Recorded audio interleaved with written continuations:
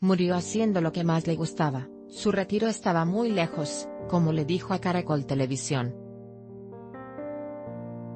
Se trata de María Isabel Murillo, mejor conocida como Missy, referencia en las artes escénicas en Colombia, y pionera del teatro musical del país. Precisamente se desvaneció durante un acto en el Teatro Col Subsidio de Bogotá.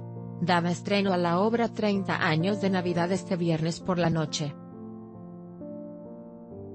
Missy, de 61 años, murió tras el desmayo. En el lugar, uno de los encargados se refirió al público como un pequeño accidente, más tarde moriría, reportó el canal RCN.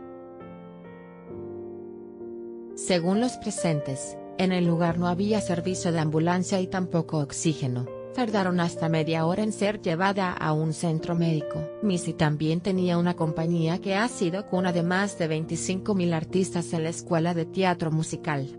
Por más de 20 años, la artista deleitó con decenas de obras, y 4.000 mil canciones que tuvieron su sello en varias presentaciones, como West Side Story, El Mago de Oz y Jesucristo Superestrella.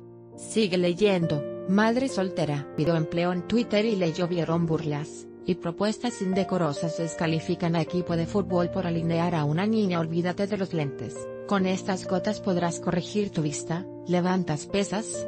Puede dañar a tu salud de esta forma, porque es más fácil ver la película de Chivas que Roma de Cuarón. Video. Ingrid Coronado apaga el escándalo tras salir de Venga la Alegría y responde si se va a Televisa.